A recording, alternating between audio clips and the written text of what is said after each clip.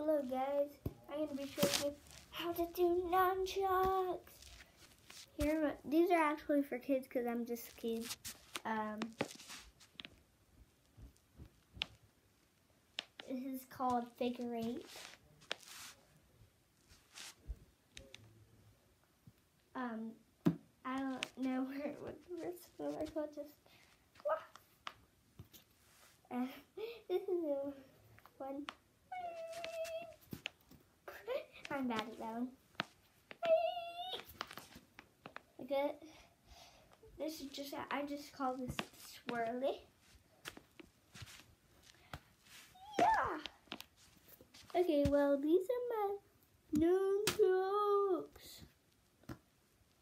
This video might be upside down. I don't even know if I'm upside down. Am gonna hit you guys?